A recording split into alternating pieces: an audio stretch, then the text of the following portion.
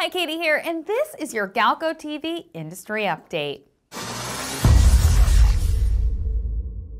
This week, we're talking the latest news in the machine vision market, how MIT is partnering with NASA, and the Pilz showcase in Germany. The Automated Imaging Association reported sales of machine vision components and systems grew to $2.3 billion last year, an all-time record. Machine vision technology is used for applications like image-based process control and robot guidance.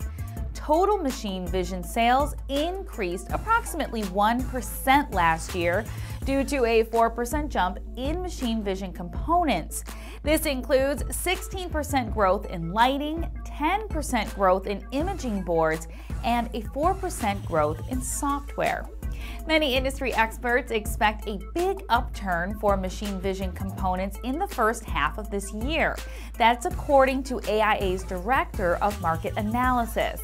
Interest in vision and imaging technology is at an all-time high. We continue to see new and exciting applications emerge for vision in all aspects of automation, says AIA's president.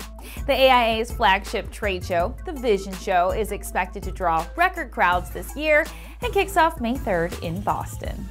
Coming this summer, MIT has partnered with Boeing and NASA to deliver an online-based program designed to train professionals in latest practices on models and methods for systems engineering.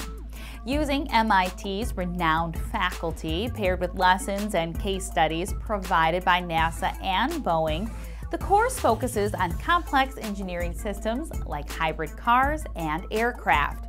Students will learn about the latest practices in model-based systems engineering, how models enhance the systems engineering process, and how engineering tasks can be augmented with quantitative analysis. The project is also the first official partnership between Boeing and NASA under the Space Act Agreement. And Hannover Messe is the largest industrial trade show in the world, and Pilz will be there showcasing off their latest industry solutions in automation safety. Pilz will unveil its PSENopt 2, the world's first Type 3 light grid. Since the standard changed last year, users have had to switch to a Type 4 light grid in order to receive PLD, which in practice can lead to higher costs. Now the tailor-made PSENopt 2 will help bridge the gap in standard and guarantee in an economical light grid solution.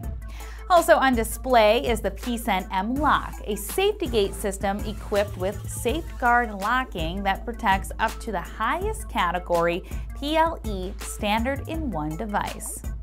And conference goers can see a live demo. Safety Eye, a 3D camera system, will be on display.